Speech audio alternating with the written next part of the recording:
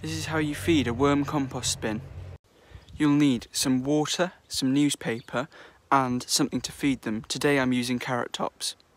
Start by spreading the food over the top evenly over the top of the box that you're currently using. Just like that.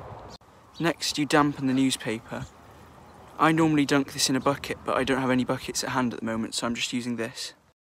Up and place it on top like this until there's about a two inch layer wondering why you use damp newspaper and this is because worms breathe through their skin so they need their skin to be damp to let the air diffuse through their skin.